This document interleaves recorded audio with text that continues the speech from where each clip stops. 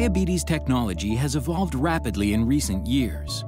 While glucometers are highly accurate and must-haves for all children with T1D, they are no longer the only tool in town for measuring blood glucose levels.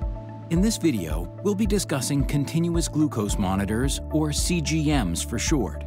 With a continuous glucose monitor, you can gain insights about your child's blood glucose that would be nearly impossible to see with just a glucometer. Each brand and model of CGM is slightly different, but they all function in a similar way. A CGM has three basic parts, which may be housed together in one shell or separate. The first part is a small device called a sensor, which measures the glucose in the body. The sensor must be changed according to the device's instructions. Generally, you need to apply a new sensor and rotate the sensor site every 7 to 14 days. The sensor hands the blood glucose information to the second part, called the transmitter. Depending on the CGM, the transmitter might be kept separate from the sensor. Other CGMs combine the sensor and transmitter into one single piece that is worn on the skin as a patch. The transmitter sends the blood glucose information to the third part, which is called different names depending on the brand.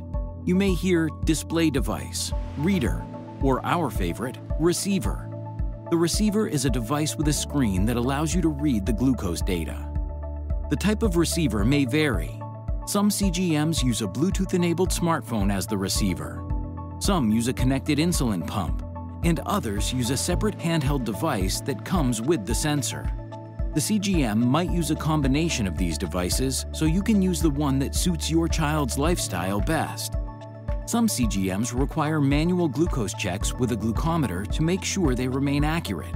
You will need to check your child's specific device instructions to see if these manual checks, also known as calibration checks, are required. The biggest benefit that CGMs offer is that they can provide more information than a glucometer alone. The CGM performs a glucose test around every five minutes, so it is easy to see how the blood glucose level is changing from moment to moment.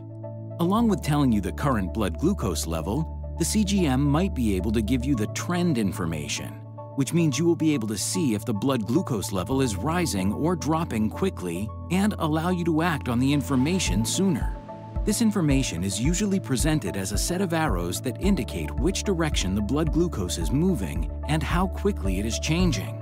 The number and direction of the arrows can show how fast the blood glucose is changing. Paying close attention to these arrows can help catch a blood glucose that is rising or falling very quickly. Using a CGM, you will be able to track your child's blood glucose level throughout an entire day. This information can help you pinpoint times when the child's blood glucose is consistently high or low so you can make changes to their care routine to correct them. These patterns are places that our clinic looks for to help tailor a child's diabetes management to improve their health outcomes. With time, we can help you learn how to read these patterns so you can manage your child's diabetes much more independently. A continuous glucose monitor is a valuable tool for monitoring and interpreting blood glucose. It can provide a more complete picture of your daily routine and allow you to see blood glucose trends that you may not be able to see otherwise. To make the most of the device, the CGM sensor needs to be worn at all times and should be rotated every 7 to 14 days. If the sensor falls off before then, you can replace it it is possible that something can go wrong with the CGM sensor or receiver. If the CGM is not sending blood glucose data to the receiver for some reason, you will still need to have a glucometer on hand and return to using it for regular blood glucose checks until the CGM is working properly again. Some CGM users report discomfort with wearing the device, changing their site, or dealing with uncomfortable adhesives. If this is the case for your child, you can discuss the problem with your diabetes care team and they can help with strategies to reduce pain and discomfort. In the next video, we will talk about a blood test that shows a child's average blood glucose over an extended period of time, also known as the hemoglobin A1C test.